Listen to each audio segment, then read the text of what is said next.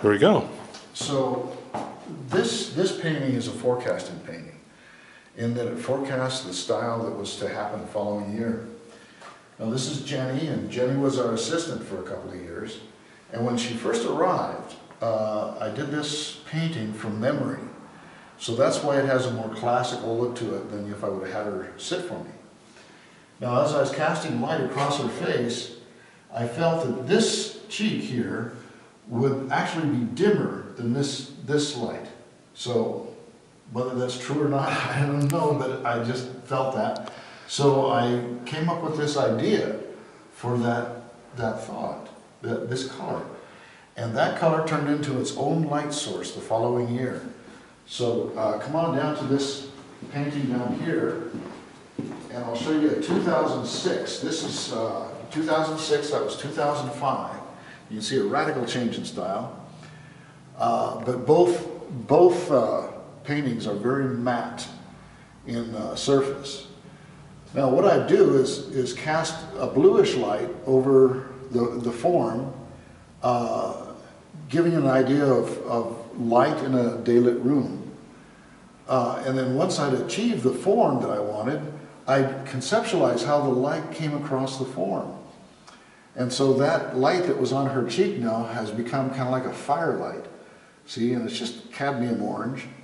But it, it, uh, it's now two light sources in a painting. And that usually isn't seen. Uh, I think this is something that comes more often in photography. But uh, the two... Special lighting, yeah. Yes, yeah, yeah, special lighting, uh, usually in photography. Call it key lighting, yeah. Yeah, yeah, that'd be key light and backlight or something like that. Uh, Key light is the backlight, yeah. Oh, key light.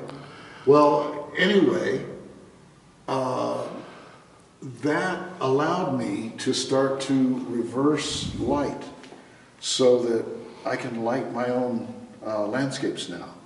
So, see, that was a step. Uh, here, let's see. Here's, here's a, here's a, uh, actually a morning painting. And uh, I reversed the light, so the scene was actually lit, backlit, like this, so the trunk was very dark. But having cast my own light before, uh, I could imagine that trunk in, in daylight, uh, maybe even late afternoon light, coming and hitting it directly on. And uh, just switching entirely the, the uh, direction of the light. So that's, that's how I could use that idea for landscape, even though it began with a figure. Wow.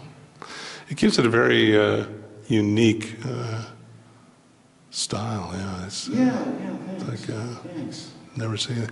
It, um, can't put a word on it, no. Well, you know, I kind of see it uh, as emotional.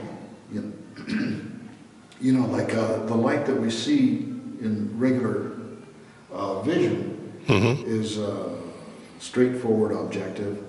And then this light, being imaginary light, becomes very emotional, dreamlike. Have you um, done any studying of the, the pineal gland that we have in our, our minds? I haven't, no. Um, it's, it's an inner eye that is actually organic. It's real. It's not just something like the third eye we talk about here is something ethereal, but it's an actual pineal gland uh, is where we look inside the universe. And uh, we're, we're actually much as big on the inside as we are with everything outside of us.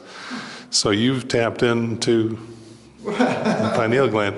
And all the, um, the rods and cones of the pineal gland look inward rather than outward.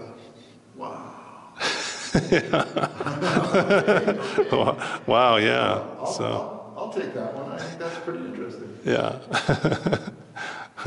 Do some uh, Googling on that one, yeah. Yeah, that's, that's very interesting. Well, I could be here all day, but I've got to get uh, back. Uh, so I'm- this is Ken Sheetz signing off from the Robin John Andersen uh, galleries here with his beautiful wife Mar- Margot, who's disappeared on us. So